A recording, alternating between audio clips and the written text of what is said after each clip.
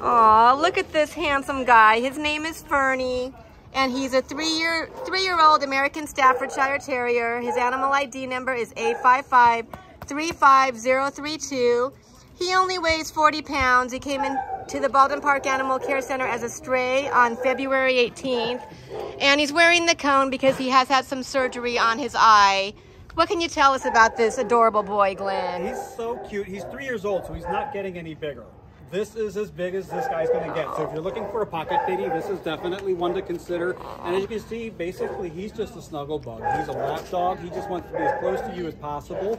Uh, he's a little bit down right now because of the cone and because he was a stray and he's been here for a while. But uh, he really is just a loving, sweet little couch potato who just wants to snuggle. Yeah, and it says he gets along, gentle, dainty play style, gets along with large dogs in the shelter play groups. So come and get this boy out of here. He's a deserving of a forever home.